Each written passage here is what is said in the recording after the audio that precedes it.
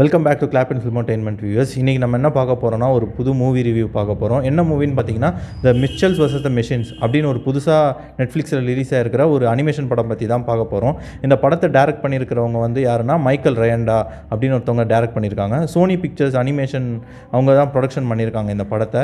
இந்த படத்தோட அவுட்லைன் பார்த்தீங்கன்னா ஒரு ஃபேமிலி வந்துட்டு எப்படி வந்துட்டு வேர்ல்டில் வந்துட்டு ரோபோட்ஸ் கிட்டேருந்து காப்பாற்றுறாங்க அப்படின்றது தான் ஜென்ரல் அவுட்லைன் பட் ஆனால் இதில் உள்ளே இருக்கிற கான்செப்ட்டு சில பல விஷயங்கள்லாம் பார்த்தீங்கன்னா நம்ம டூ பாயிண்ட் ஓ எந்திரன் இந்த மாதிரி படத்துலேயே நம்ம ஏற்கனவே பார்த்துட்டோம் ஸோ அதே கான்செப்டை தான் மறுபடியும் இதில் காமிச்சிருக்காங்க. பட் ஆனால் என்னென்னா நல்லா காமிச்சிருக்காங்க. ஒரு ஃபீல் குட் மூவி மாதிரி இருக்குது இந்த படம் ஸ்டார்டிங்லேருந்து எப்படி போகுதுன்னா இந்த படத்தோட டியூரேஷன் பார்த்திங்கன்னா டூ ஹவர்ஸ் டூ ஹவர்ஸ் தான் வருது.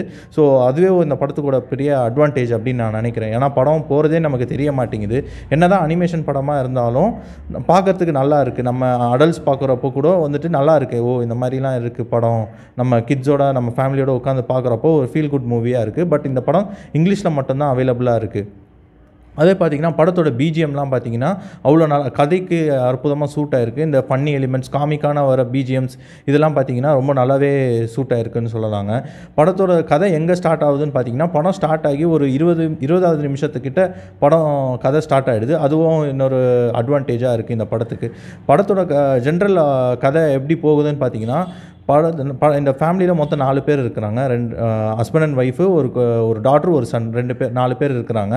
அந்த டாட்டரை வந்துட்டு காலேஜில் சேர்க்குறப்போ இவங்க எல்லாரும் ஃபேமிலி ட்ரிப் மாதிரி ஒரு ரோட் ட்ரிப் போகிறாங்க இந்த ரோட் ட்ரிப் போகிறப்போ ஒரு ரோபோட்ஸ் வந்துட்டு உலகத்தை ஆக்கிரமிச்சிருது. ஸோ அந்த உலகத்தை எப்படி காப்பாற்றுறாங்க அப்படின்றது தாங்க கதை. இந்த ரோபோட்ஸில் நடக்கிற டெக்னிக்கல் டி ஃபால்ஸ்னால் இந்த ரோபோட்ஸ்லாம் வந்துட்டு கண்ட்ரோல் மீறி நம்ம எந்திரனில் வர மாதிரி கண்ட்ரோல் நம்ம கண்ட்ரோல் மீறி அவங்க ஒரு தனி சாம்ராஜ்யம் மாதிரி உருவாக்கிட்டு வேர்ல்டை ஆக்கிரமிச்சிடுறாங்க. அந்த வேர்ல்டை எப்படி காப்பாற்றுறாங்க அப்படின்றது தான் போக போக இந்த கதையில் சொல்லிகிட்டே வராங்க. படத்தோட எடிட்டிங் இதெல்லாம் பார்த்தீங்கன்னா ரொம்ப அற்புதமாகவே இருக்குது ஏன்னா டூ ஹவர்ஸ்ன்றது கரெக்டான டியூரேஷனு பார்க்கறதுக்கு கரெக்டாக இருக்குது குழந்தைங்க நல்லா பார்க்கலாம் இந்த படத்தை. அதே மாதிரி சினிமாட்டோகிராஃபிலாம் பார்த்தீங்கன்னா பக்காவாக பண்ணியிருக்காங்க. எல்லாம் இதில் எல்லாமே குறை சொல்கிற மாதிரி எதுவுமே இல்லைன்னு சொல்லலாம். அண்டு மியூசிக் பற்றி நான் ஆல்ரெடி சொல்லிட்டேன். மியூசிக் வந்து கதைக்கு ஏற்றாப்புல எல்லாமே இருக்குது அண்டு இந்த கேரக்டர் ஸ்கெட்ச் பண்ணியிருக்காங்க பார்த்தீங்களா அதெல்லாம் ரொம்ப அற்புதமாகவே இருக்குது ஒரு ஒருத்தவங்களுக்கும் அவங்களோட முக பாவனைகள்லாம் வந்துட்டு அந்த அனிமேஷனில் வந்துட்டு ஒன்று ஒன்று செதுக்கியிருக்காங்கன்னு சொல்லலாம். ஏன்னா ஒவ்வொருத்தவங்களுக்கும் அந்த காமிக்கல் ஃபேஸ் கொண்டு வரதுக்கே ரொம்ப கஷ்டப்பட்டிருப்பாங்க. ரொம்ப மெனக்கெட்டு செஞ்சுருப்பாங்க. அப்படின்றது ரொம்ப தெளிவாக தெரியுது. போக போக என்ன ஆகுதுன்னா க நடுவில் கொஞ்சம் வந்துட்டு ஒரு டென் டு ஃபிஃப்டீன் மினிட்ஸ் வந்துட்டு படம் ஸ்லோ ஆகிற மாதிரி போதுங்க.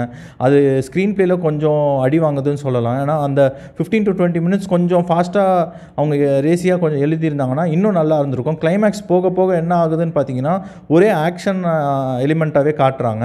அந்த ஆக்ஷனும் எப்படி இருக்குதுன்னு பார்த்தீங்கன்னா ரொம்ப ரொம்ப காமிக்கலாக இருக்குது அதாவது காமிக்கல் படம் தான் இது. அதுக்காக இவ்வளோ காமிக்கலாக இருந்திருக்க வேணாம் அப்படின்னு தான் தோணுது. அது மட்டும்தான் சின்ன குறைபாடாக இருக்குது மற்றபடி பார்த்தீங்கன்னா படம் ரொம்ப நல்லா இருக்குதுன்னு தான் சொல்லலாம். ஃபீல் குட் மூவி கிட்ஸ் வந்துட்டு ஒரு டென் இயர்ஸ் டுவெல் இயர்ஸ்க்குள்ளே இருக்கிறவங்களாம் வந்துட்டு நல்லா ரசித்து பார்ப்பாங்க இந்த படத்தை. இப்போ எப்படி இருந்தாலும் லாக்டவுன் போட்டுருவாங்க. ஸோ இந்த லாக்டவுனில் ஒன் ஆஃப் த மூவிஸ் ஃபேமிலியோடு உட்காந்து பார்க்கணும். நம்ம வீட்டில் கிட்ஸ் இருக்காங்க எல்கேஜி யூகேஜி படிக்கிற பசங்களாம் இருந்தாங்கன்னா இந்த படத்தை தாராளமாக ரொம்ப என்ஜாய் பண்ணி பார்ப்பாங்க. என்னதான் அவங்களுக்கு மொழி புரியலைனாலும் ரொம்ப என்ஜாய் பண்ணி பார்ப்பாங்கன்றது உறுதியான ஒரு விஷயங்க.